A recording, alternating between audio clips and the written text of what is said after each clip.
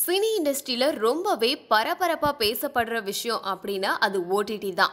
இப்போ கொரோனாவால் பல படங்கள் ஓடிடியில் தான் ரிலீஸ் ஆகிட்டு இருக்குது அந்த வகையில் சுதா குங்காராவோட டைரக்ஷனில் சூர்யாவோட நடிப்பில் டூ டி என்டர்டைன்மெண்ட்டோட தயாரிப்பில் உருவாக்கியிருக்க சூரரை போற்று படமும் ஓடிடியில் ரிலீஸ் ஆகிறதா அஃபிஷியலாக சொல்லியிருந்தாங்க.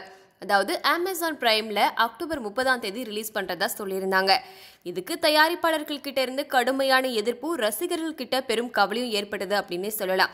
ஏன்னா சன் பிக்சர்ஸோட ப்ரெஷரால தான் இந்த முடிவு எடுக்கப்பட்டிருக்கிறதா கூறப்படுது. ஏன்னா சன் டிவியில் டிஆர்பியோட ரேட்டிங்காக சூரரை போற்று படம் தீபாவளி அன்னைக்கு கண்டிப்பாக போட்டே ஆகணும் அப்படின்ற ஒரு ப்ரெஷர் இருக்கிறதால தான் இந்த படத்தை வித்தாங்க அப்படின்னு சொல்லி பரவலாக பேசப்பட்டு வருது. இதை தொடர்ந்து தளபதி விஜயோட மாஸ்டர் படமும் அமேசான்ல விற்க போறதா ஒரு பேச்சுவார்த்தை போயிட்டு இருக்கிறதா சொல்லிட்டு இருக்காங்க. ஆனா ஆல்ரெடி டைரக்டர் லோகேஷ் கனகராஜ் என்ன சொல்லியிருந்தாருன்னா கண்டிப்பா மாஸ்டர் படத்தை தேட்டர்ல தான் ரிலீஸ் பண்ணுவோம் அப்படின்னு சொன்னதால ரசிகர்களுக்கெல்லாம் ஒரு நம்பிக்கை இருக்கு அப்படின்னே சொல்லலாம். இதை தொடர்ந்து தனுஷோட நடிப்பில் ஒய்நாட் ஸ்டுடியோஸ் தயாரிப்பில் கார்த்திக் சுப்ராஜோட டேரக்ஷனில் ரெடி ஆகியிருக்க ஜக்கமே தந்திரம் படத்தை நெட்ஃப்ளிக்ஸ் இல்லைனா ஹாட் ஸ்டார் வாங்குறதா முடிவு பண்ணி இப்போ பேச்சுவார்த்தை நடந்துட்டு இருக்கிறதா சொல்லியிருக்காங்க. மேக்சிமம் பார்த்தா ஹாட் ஸ்டாரில் தான் கொடுத்து கம்மிங் தீபாவளிக்கு விஜய் டிவியில் இந்த படத்தை சன் டிவியோட சூரரை போற்றுக்கு காம்படிஷனை இறக்குவாங்க அப்படின்னு எதிர்பார்க்கப்படுது. இதே போல லக்ஷ்மணோட டேரக்ஷனில் ஜெயம் ரவியோட பூமி படத்தை சன் நெக்ஸ்ட் வாங்கியிருக்கிறதா சொல்லியிருக்காங்க.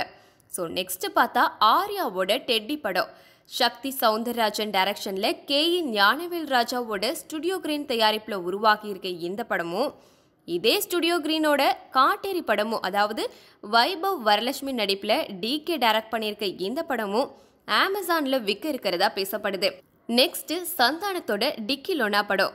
கேஜிஆர் ஸ்டுடியோஸ் தயாரிப்பில் கார்த்திக் யோகி டைரக்ஷனில் ரெடி ஆகியிருக்க இந்த படமும் சேம் கேஜிஆர் ஸ்டுடியோஸோட காப்பே ரணசிங்கம் அதாவது விஜய் சேதுபதி ஐஸ்வர்யா ராஜேஷ் நடிச்சிருக்க இந்த படமும் ஜி ஃபைவ்ல வாங்கி இருக்கிறதா சொல்லப்படுது. இதை தொடர்ந்து கீர்த்தி சுரேஷோட நடிப்புல உருவாகியிருக்க மிஸ் இந்தியா படம் நெட்ஃபிளிக்ஸ்லயும் குட் லக் சகி படம் அமேசான் பிரைம் வீடியோல ரிலீஸ் பண்றதா சொல்லியிருக்காங்க.